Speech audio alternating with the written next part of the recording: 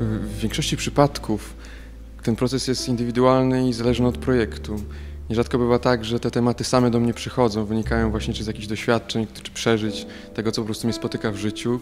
Choć czasem, tak jak w przypadku rzeźb, które możemy oglądać na wystawie w naszej waszej galerii, są to refleksje autotematyczne, są to prace praktycznie o pracy. No, tak jak tutaj widzimy ten cykl Nubes Formales, to są rzeźby, które opowiadają o rzeźbie. Także nigdy nie ma jakiejś jednej zasady odnośnie tego, w jaki sposób dochodzę do, do tematów, a zwykle to są właśnie bardzo indywidualne ścieżki.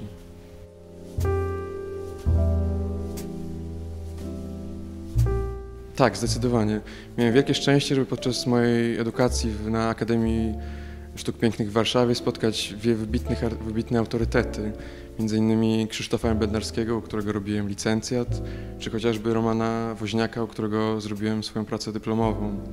To, były dwa, to było dwóch głównych, można powiedzieć, moich, moich w pewnym sensie promotorów, ale też, ale też właśnie ludzi, którzy prowadzili mnie w ich zarówno w świat sztuki wprowadzali, jak i tej poszerzonej refleksji na temat tego, czym w ogóle jest ta sztuka. Tak? Oni nigdy nie dawali nam jakichś odpowiedzi plastycznych na temat tego, jak, co mam robić, czy w jaki sposób to ma wyglądać, ale zawsze sprawiali, że moje horyzonty, czy w ogóle sposób postrzegania sztuki był poszerzony. Także mi się wydaje, że to są dwie postacie, które bardzo mocno wpłynęły na moją twórczość.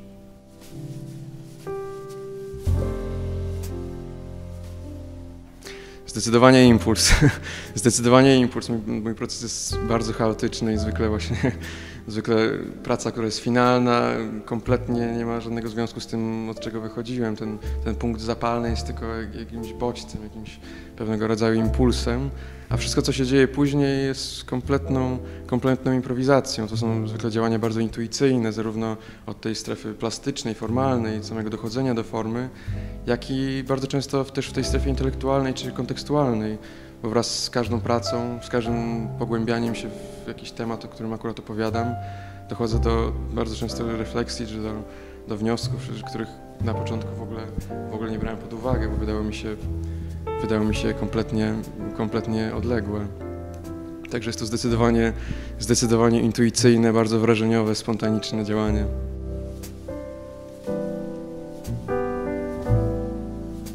No, oczywiście to najnowsze. Te prace, które możemy zobaczyć w Galerii Nowosądeckiej, to są moje najnowsze realizacje. Dwie z rzeźb, które, dwie spośród dziewięciu rzeźb, które możecie tutaj oglądać, są zrobione specjalnie pod tą wystawę. Także mi się wydaje, że, że zresztą jak każdy twórca do tych prac najświeższych mam, ma zawsze naj, najmocniejszy stosunek, no bo są to rzeczy najbardziej aktualne.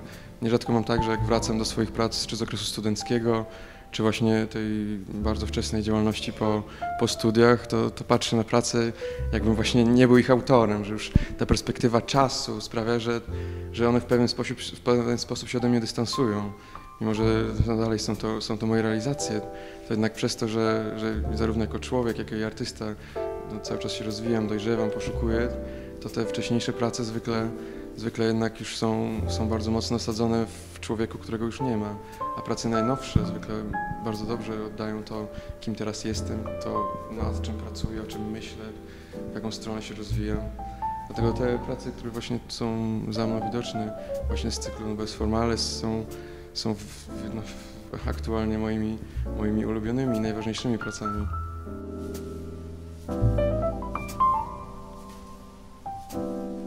Zdecydowanie nie. Sztuka jest jakby całym moim życiem, a bycie artystą to jest częścią mojej tożsamości. Wydaje mi się, że w każdym innym zawodzie po prostu czułbym się nie na swoim miejscu, czułbym, że robię coś wbrew sobie, czułbym, że jest to nieustanna walka.